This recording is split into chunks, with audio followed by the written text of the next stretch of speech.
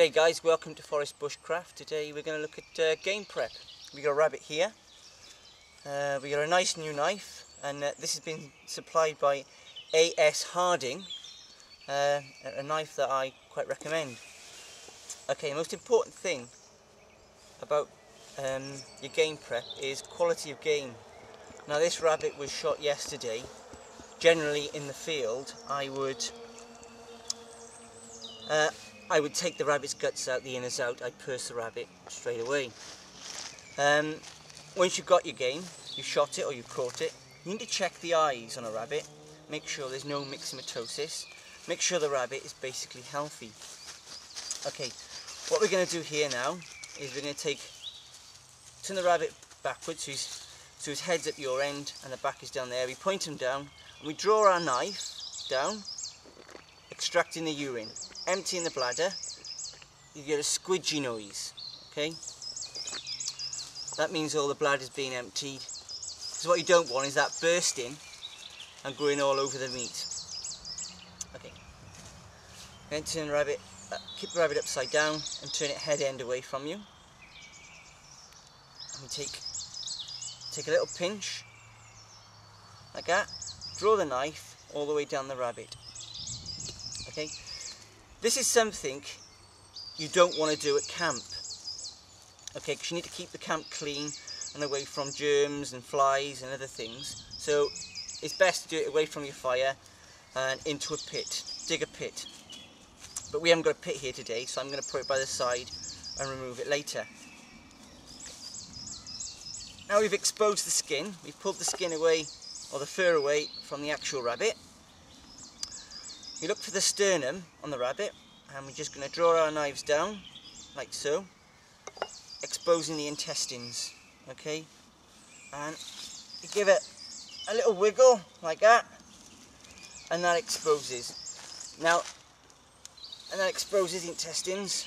Now I don't really want to I don't normally put my hand in. Normally I hold the back legs swing it round let go of the front legs and the intestines come out. But for today's purpose I'm just going to drag them out with my hand. Okay so drag them out and I'm going to put them to one side. Okay now the intestines are out I'm going to start skinning the rabbit. What you need to do is get your your fingers between the fur and the actual meat of the rabbit and start dragging apart. You bend the back legs and push the back legs through like so this can be a messy job, but keep pulling, pull, pull, pull, and it comes through and the socks are left on. Um, we do it this way. There is another way of doing a rabbit, the hunter's way. This is so we can keep the meat, the, uh, the fur, the pelts, to make moccasins or anything you'd make out of leather. Okay. Okay, that's the back legs out. Now you need to draw it as hard as you can. Pull! Pull, pull. Keep pulling and the front legs pop out. So give them a little pull, like so. There we go. Now that's the rabbit almost skinned. What you don't want to do with your knife, you're going you're trying not to um, use bone on the knife. You don't want to blunt your knife straight away. So I've cut the meat, cut the tendons around the knife, around the neck, and I just twist and it comes off again. I put it in one pile to discard of later because I don't want that around the camp. Now the legs, you need to make a snap. Okay, snap the legs and just cut them off. I put that in my rubbish pile.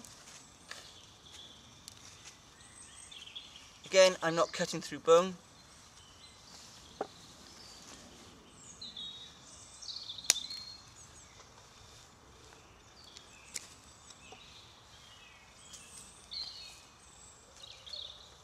Ah.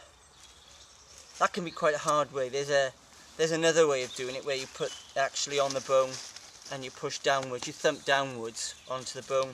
But I don't like doing that, obviously, because of the knife. Right, Sometimes the tail's quite hard to pull. You pull the tail, and it, it's supposed to drag the rest of the intestines out, the um, the rest of the bad meat or the rabbit muck.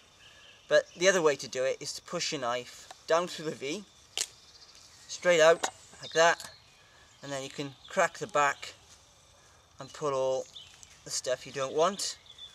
Pull it all out. Like so. And just cut any any other fur away. Any part of the animal that you don't want to you don't want cooked with the meat okay? Now that meat's now kept clean none of the intestines have gone around it. I then need to drag my hand at the cavity of the rabbit and pull the lungs and the, and the stomach cavity out just like so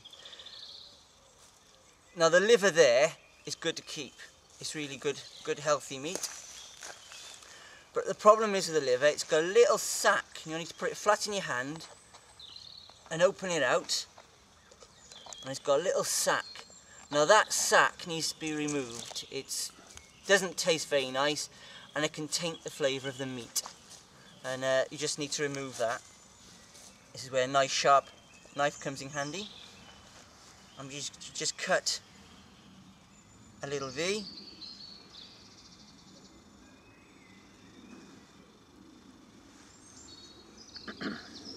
There we go, and that's been removed, and that goes in the rubbish pile.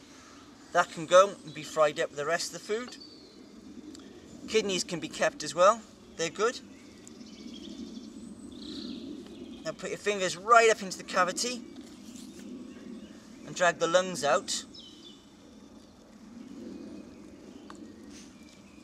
Just like so. Take the heart away from the lungs, that's something else you can eat. Discard the lungs. And there we go.